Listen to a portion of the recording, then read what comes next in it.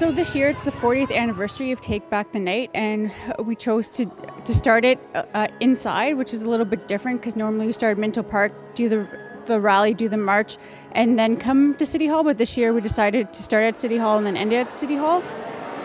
Violence against women is an ongoing issue uh, everywhere, and it also affects different groups of women even more. So there's different pockets in marginalized women. So it affects like Indigenous women.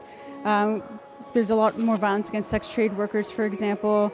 And so Take Back the Night helps recognize that. And also i feel like it's also meant to empower women because we're not just like helpless victims. We can rally together uh, our voices be heard and then we can do something about it. And it's meant to like encourage and emp- empower women